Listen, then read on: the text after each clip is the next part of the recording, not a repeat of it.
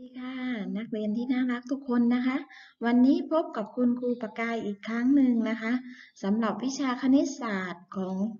ชั้นประถมศึกษาปีที่ 3 นะคะอ่าสำหรับวันนี้นะคะ ที่คุณครูให้นักเรียนท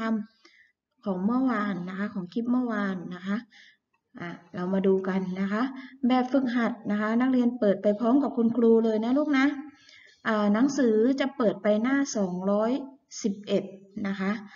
211 ในหนังสือแบบเรียนนะลูกนะ แบบเรียนที่เป็นแบบฝึกแบบเรียนเล่มใหญ่อะลูกนะคะอะทีนี้แบบฝึกหัดนะคะในหน้า 211 นั้นจะเป็นแบบเสริมทักษะใช่ไหมลูกจากครั้งที่แล้วก็จะเป็นในข้อที่ 3 ใช่ไหมลูก ในข้อที่ 3 นี้เขาบอกว่า รายการต่อไปนี้นะคะรายการใดเป็นรายรับ รายการใดเป็นรายจ่ายนักเรียนมาดูนะคะ ระหว่างรายรับและรายจ่ายนะคะ ในข้อที่ 1เขาบอกว่า สุดาขายดอกกุหลาบได้เงิน 60 บาท สุดาขายดอกกุหลาบได้เงิน 60 บาท แสดงว่าเป็นรายรับหรือรายจ่ายเอ่ย นักเรียนตอบอะไรลูก เป็นรายรับใช่ไหมคะ อ่า นะคะ ตอบถูกหรือไม่ นักเรียนดูด้วยนะคะ ในสมุดของนักเรียนที่ทำมาต่อข้อที่สองของนักเรียนนะคะ เรามาดูโจทย์ก่อนนะคะ เขาบอกว่าระวินซื้อไอศครีมมาสองแท่งเป็นเงิน 38 บาท อ่าไอศกรีมสองแท่ง เป็นเงิน 38 บาท แสดงว่าเป็นรายรับหรือรายจ่ายลูก เป็นอะไรคะ เป็นรายจ่ายใช่ไหมคะ เพราะซื้อไปใช่ไหมลูก ซื้อไปเป็นรายจ่ายนะคะ ต่อไปมาเอ่ยนะข้อที่ 3 บอกว่าสุพร ให้เงินน้อง50บาท สุพรให้เงินน้อง50บาทคำว่าให้เงินน้องเป็นรายรับหรือรายจ่ายลูก เป็นรายจ่ายใช่ไหมคะ อะ เป็นไงบ้างถูกต้องไหมลูก อ่า มาดูข้อมีทั้งหมด 10 ข้อนะลูกนะ ข้อที่ 4 นะคะ ดวงใจซื้อลำไยมา 1 กิโลกรัม ราคา 35 บาทนะคะ ดวงใจซื้อลำไยมา 1 กิโลกรัม ราคา 35 บาทนะคะ ตัวนี้เป็นรายรับหรือรายจ่ายลูก นักเรียนตอบอะไรเอ่ยอะมาดูกันเฉลย เป็นรายจ่าย เพราะคำว่า ซื้อลำไยนะคะ ซื้อก็คือการจ่ายไปนั่นเอง ใช่ไหมลูก อ่า ต่อไปเรา ไปดูข้อที่ 5 โจทย์เขามีอยู่ว่า สิริชัยจ่ายค่าโทรศัพท์ 397 บาท 25 สตางค์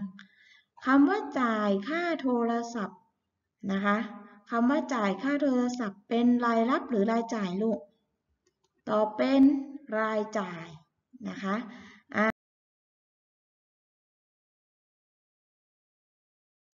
อ่าในข้อที่ 6 นะคะ ป้ามะลิถูกฉลากออมสินได้เงิน 2,000 บาท ป้ามะลิถูกฉลากออมสิน ได้เงิน 2,000 บาทคำว่าได้เงินนะคะ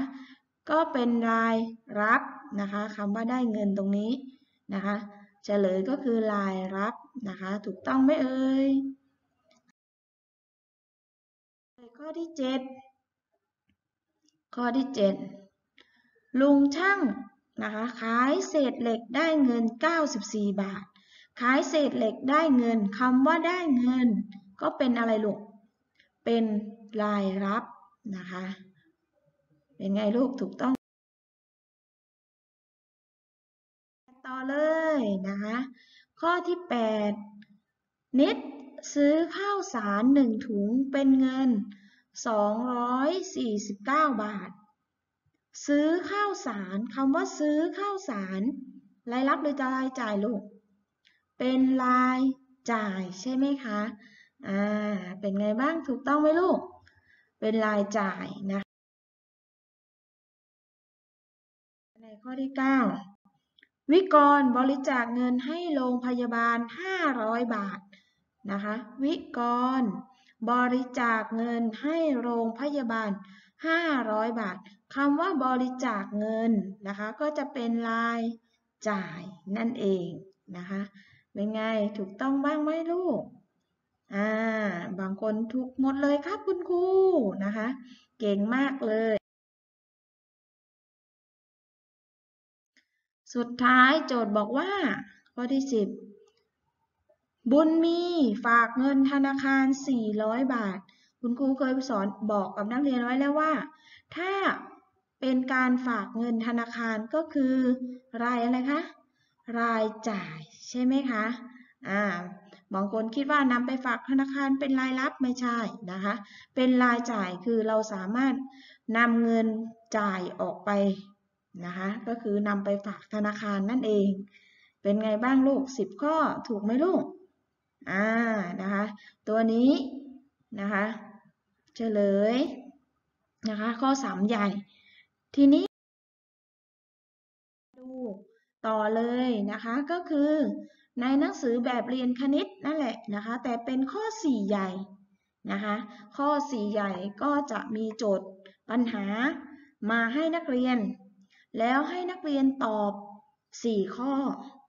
นะคะนักเรียนดูต่อเลยนะคะ ในหนังสือแบบเรียนคณิตนะลูกนะ ในหน้าเดียวกันนั่นแหละ 211 นะคะอ่าที่หนึ่งเขาบอกว่าให้ตอบคำถามต่อไปนี้ คือไม่ต้องแสดงวิธีทำก็คือเขียนโจทย์แล้วก็ตอบนะคะอ้าวโจทย์ข้อที่หนึ่งเขาบอกว่าสินีมีเงิน 50 บาท ซื้อส้ม 15 บาท 50 สตางค์สินีเหลือเงินเท่าไหร่ คำว่าเหลือเงินเท่าไร เอามาทำอะไรกันเอ่ย มาทำอะไรกันลูกนำมาลบกันใช่ไหมคะ เวลานักเรียนคิดในกระดาษทด นักเรียนก็นำ50 ลบกับ 15 บาท 50 สตางค์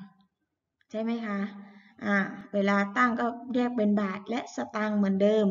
นะคะ ที่คุณครูพาทำนะคะ ดังนั้นในคำตอบข้อนี้ได้เท่าไหร่เอ่ย สินีเหลือเงิน 34 บาท 50 สตางค์นั่นเองนะคะ นี่คือข้อที่1นะลูกนะ หาคำตอบอะต่อไปไปดูในข้อที่ 2 ข้อที่ 2 ก็จะมีโจทย์ปัญหามาให้นักเรียนเหมือนกันนะคะข้อที่ 2 บอกว่า ส้มราคากิโลกรัมละ 48 บาท ถ้านงรักซื้อมา2กิโลกรัม กิโลกรัมหนึ่ง1กิโลกรัม48บาท ถ้า2กิโลกรัมเป็นเท่าไรนักเรียนต้องคิดก่อนนะคะ จากนั้นและให้ธนบัตรชนิดราคา 100 บาท1ใบ อะ100 บาทให้กับผู้ขาย จะได้รับเงินทอนเท่าไร เวลาคิดหาคำตอบขั้นตอนแรก ให้นักเรียนนำส้ม 1 กิโลกรัม นะคะ1กิโลกรัมคือ 48 ถ้า 2 กิโลกรัมอะเอามาคูณกับ 2 ก่อน 48 คูณ 2 ได้เท่าไหร่เอ่ย เสร็จแล้วรวมเป็นเงินกี่บาท แล้วค่อยนำ100 ไปลบกับจำนวนที่เราซื้อ 2 กิโลกรัมนะคะ เป็นไงลูก คิดได้ไหมเอ่ย ได้เท่าไหร่คะ ได้ตังทอนเท่าไหร่เอ่ย อ่า มาดูเฉลยกัน จะได้รับเงินทอน 4 บาทนะคะมีใครคิดไม่ทันไหม 1 กิโลกรัม 48 ถ้า 2 กิโลกรัมเป็น 96 ใช่ไหมคะ ก็นำ100 บาทตรงนี้ลบกับ 96 ก็จะได้รับเงินทอนแค่ 4 บาทนั่นเองนะคะ อ้าวสามให้โจทย์อะไรเรามาบ้างเอ่ย มาดูกัน เขาบอกว่าน้ำยาล้างพื้น ราคาถุงละ 44 บาท 50 สตางค์ ผงซักฟอกราคา ถุงละ 49 บาท น้ำยาล้างพื้น ราคาน้อยกว่าผงซักฟอกเท่าไหร่ เวลานักเรียนหาคำตอบ น้อยกว่าอยู่เท่าไหร่แสดงว่าเราต้องเอาจำนวนที่มากขึ้นก่อนใช่ไหมลูก ก็คือผงซักฟอก 49 บาทนะคะ มาทำอะไรคะ ลบกับน้ำยาล้างพื้น 44 บาท 50 สตางค์ลองคิดหาคำตอบซิว่าได้เท่าไหร่เอ่ย ใครใครได้คำตอบแล้วยกมือนานส่วนใหญ่นะคะ ส่วนใหญ่นักเรียน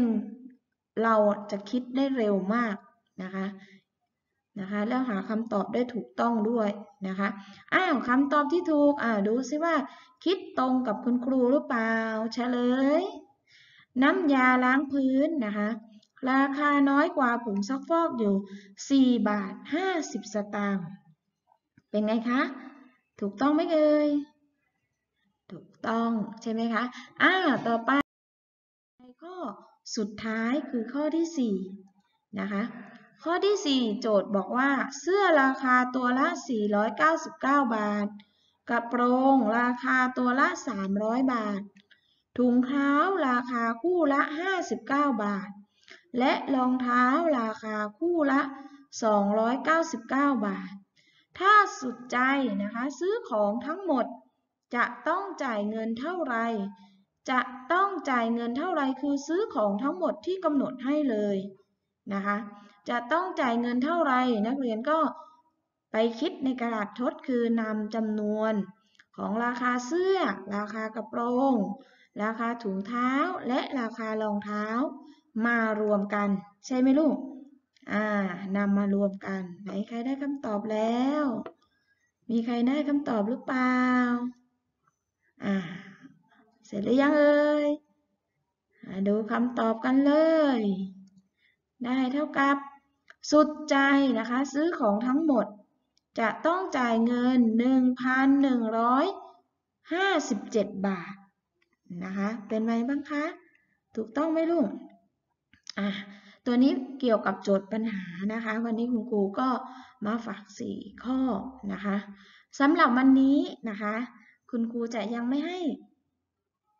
การบ้านนะคะ คุณครูไม่ให้การบ้านวันนี้ก่อนจบ อย่าลืมนะคะ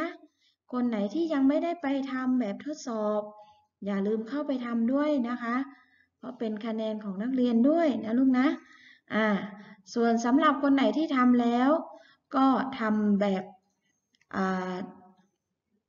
ในสมุดให้ถูกต้องนะคะสำหรับวันนี้ไม่มีการบ้านนะคะ สวัสดีค่ะ